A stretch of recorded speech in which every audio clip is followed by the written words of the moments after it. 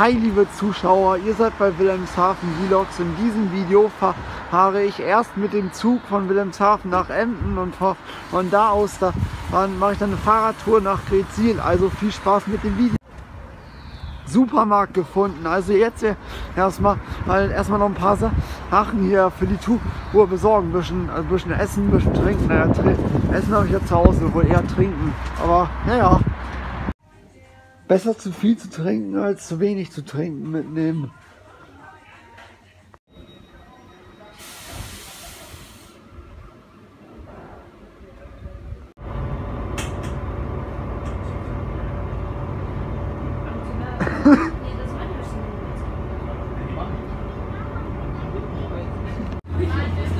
So Leute, ich bin jetzt gleich in Oldenburg angekommen. Ja. Ich habe jetzt 10 Minuten Umsteigezeit, also alles chillig.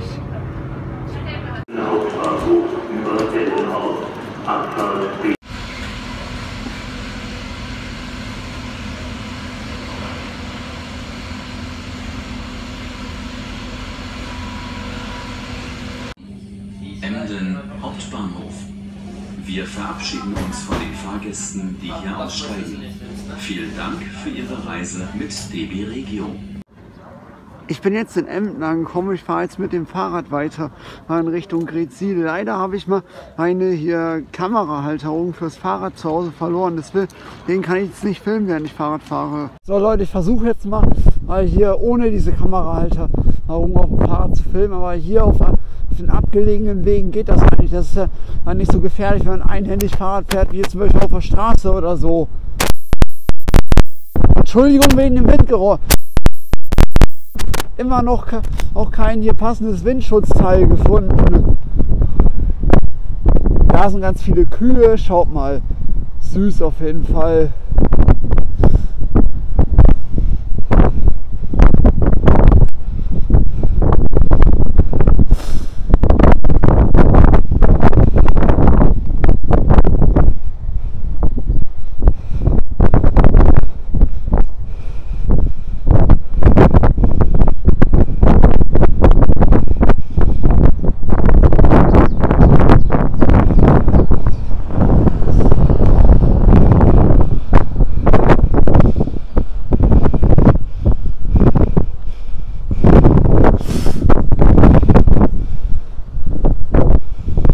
Die Dörfer, die zwischen Emden und Gretzil liegen, gehören ja zum Großteil zur Gemeinde Krummhörn. Die, die Gemeinde Krummhörn besteht, ja, befindet sich nördlich einer Deichlinie Gretzil-Emden und ja, besteht aus 19 Dörfern. Es gibt, gibt einige von sehr schön und sehr sehenswert sind, wie zum Beispiel hier Wolzeten. Im 10. Jahrhundert wird der Ort erstmals urkundlich erwähnt. Das ist eins der Warftendörfer hier in der Krummhörn.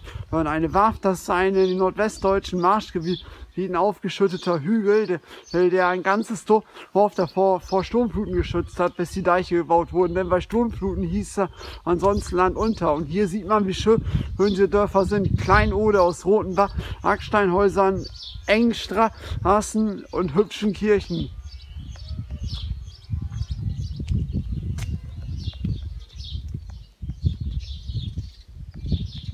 Schauen wir uns hier zwischen mal so ein bisschen um.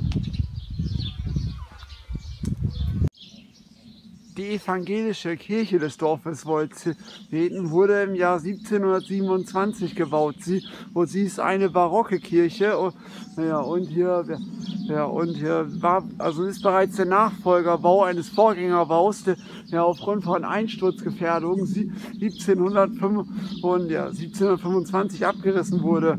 Wann, ein, wann aber genau hier die erste Kirche gestanden hat, ob das bereits der dritte Vorgängerbau der Kirche Oh ja, oder ob es heute der Nach Nachfolgerbau hier ist. War, da, das lässt sich allerdings nicht nachweisen. Da, wir sind ja da, ah, hier Mangel, also mangelnde Urkunden vorliegen. In den Marschgebieten wird der Kirchturm vom Kirchenschiff getrennt und, ja, und extra niedrig gestellt. Denn die schweren Kirchtürme geraten durch die, die Schwingung der Glocken auf dem weichen Marschboden ebenfalls in Schwanken und das gefährdet dann sowohl das Dorf als auch das Kirchenschiff. Ja, und die Kirche, da können wir gucken, ob die jetzt mal auf hat. Oh, so eine Landstraße, wo man einfach mal komplett alleine ist, ist einfach geil. Aber ich meine, ja, viele Leute haben ja schon und erzählt, dass die Krummhörn richtig schön sein sollen. Aber dass ich jetzt hier sind, nee, das toppt gerade alles. Richtig gut auf jeden Fall. Schöne Landschaft, schöne ländliche Region.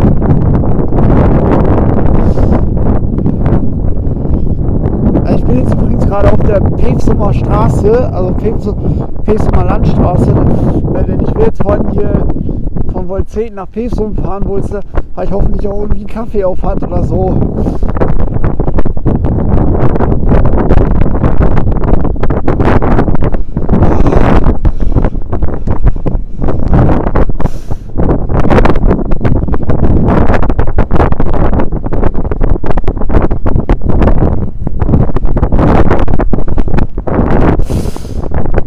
Einfach mal einen Zaun auf, alles klar.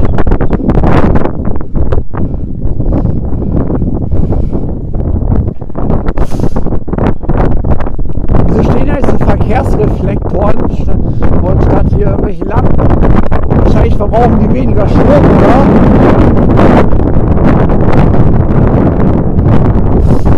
Ah, vorne sehe ich Hilfs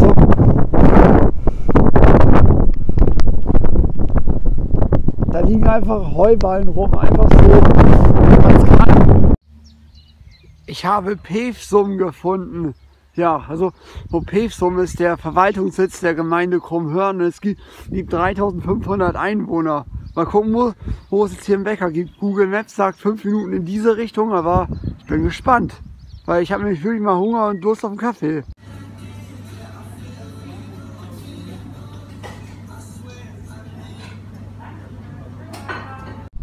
Ich war jetzt gerade hier beim Kaffee nee, Buchholz, äh, was aber auch, auch unter Einheimischen das Kaffee Lieblingsplatz genannt wird. Ja, Leute, da, das ist richtig gut. Also, hm, also ich hatte ja Mohnkuchen, habt ihr gesehen, und Kaffee.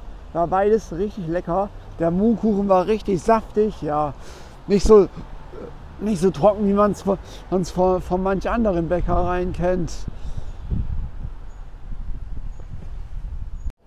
Die wichtigste Sehenswürdigkeit im Pevsum ist die Maninga-Burg. Das war früher der, der Häuptlingssitz der ostfriesischen Häuptlingsfamilie hier Maninga. Und zwar, ah ja, so Häuptlinge waren ja in Ostfriesland oder generell hier in Norddeutschland relativ bekannt. Das waren halt so hoch erhabene Leute. Ne?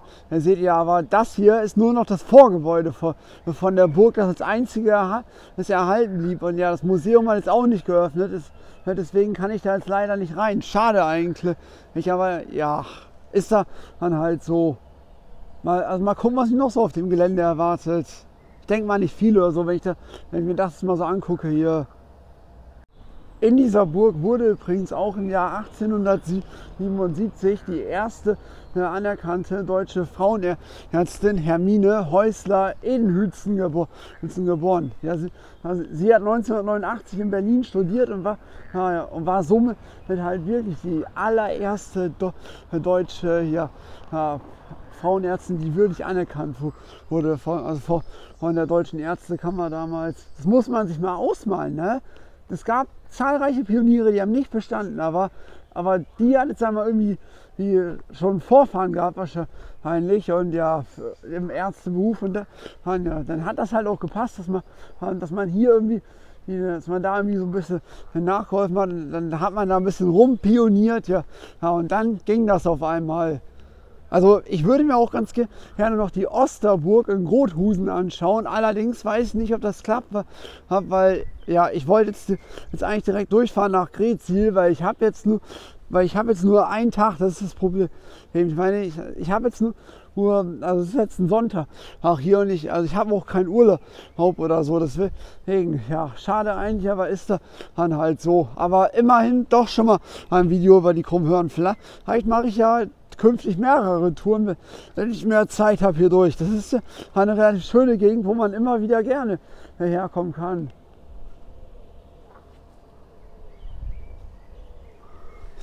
Ich fahre jetzt gerade zum Kampener Leuchtturm. Kampener Leuchtturm heißt der. Also wird zwar wie Campen geschrieben, der Ort wird zwar wie Campen geschrieben, aber der, der wird nicht Campen ausgesprochen, sondern Campen ist er einfach so. Der erste, ja, der Leuchtturm in Campen ist der höchste Leuchtturm Deutschlands und mit, ich glaube, 63 Metern waren das so. Also und das ist auch der älteste, der sich noch im Betrieb befindet. Der in Pilsum ist ja noch älter, wo ich ja auch noch vorbeikomme, um jetzt auf dieser Tour, aber ah ja, ah ja, der ist ja mittlerweile nicht mehr in Betrieb. Oh, scheiße, ey. Die ja die Straße echt mal ausbessern. Da ist der, der Kampner Leuchtturm. Seht ihr schon ganz klein? Ja. Voll geil, das Ding. Allein wegen der Landschaft hier ist es schon geil.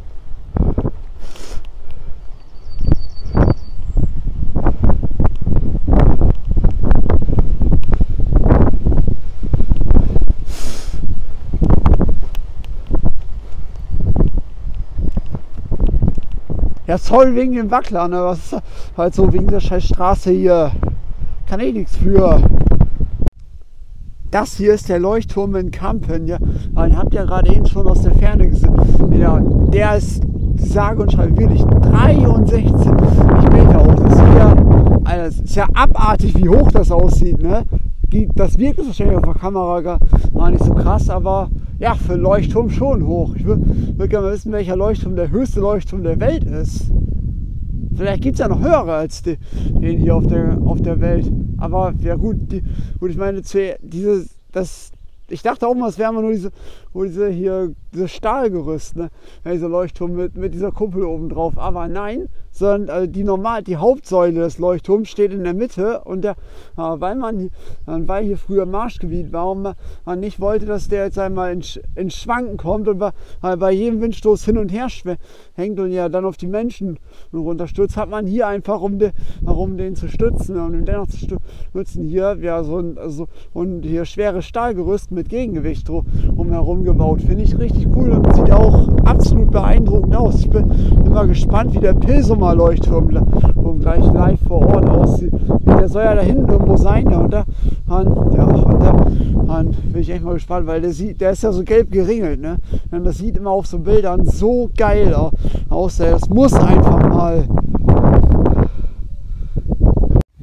ja Leute, eigentlich wollte ich jetzt hier noch vom Kampener Leuchtturm, um jetzt ein Pilsener Leuchtturm und von da aus nach Grezil fahren, aber ja, also und mir wird das ja einfach, also mir ist der Gegenwind da einfach zu stark, da fahre ich jetzt lieber mit, mit Rückenwind da lang, ja, fahre fahr dann, bevor ich nachher so, ja, so richtig kaputt bin, dass ich morgen gar nicht mehr aufstehen kann, fahre ich dann, dann lieber hier ja, mit Rückenwind in Richtung Emden, ja, steige dann da in die Regio ein, ja, dann nach Hause. Aber Leute, ich, also für euch war es hier jetzt hier von diesem Vlog. Lasst ein Like da, wenn euch trotzdem gefallen hat. Abonniert den Kanal, wenn ihr mehr aus Wilhelmshaven und der Region sehen wollt. Und vergesst nicht die Glocke zu läuten, um nichts mehr zu verpassen. Ciao.